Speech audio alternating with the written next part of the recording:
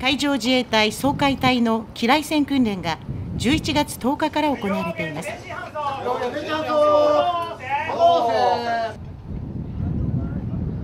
えー、訓練海面は、えー、日南市の沖10マイル ×10 マイルの大きさの海面を取っておりまして、えー、その中で、えー、掃海艇が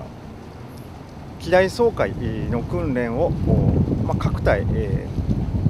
1日ないし2日の時間を取りまして、行っております。16日は掃海艇月島での訓練が報道陣に公開され10時30分に油津港を出港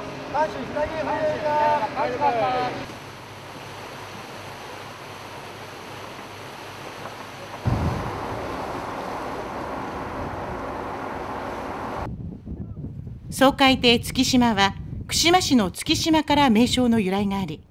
1993年に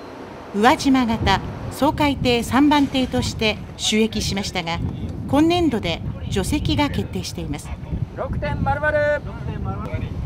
えー、軍司令以下異常用の桟橋に関しては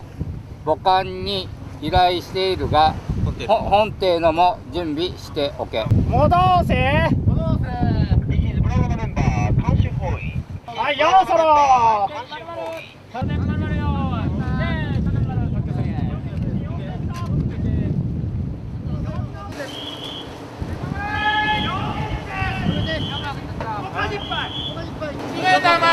はい了解。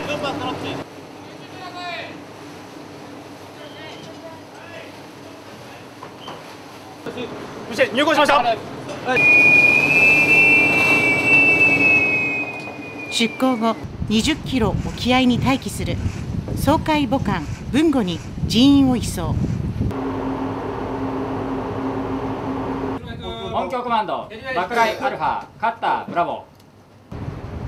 そして宇戸神宮の沖合およそ4キロで機雷処分具を走らせ機雷相当訓練を行いました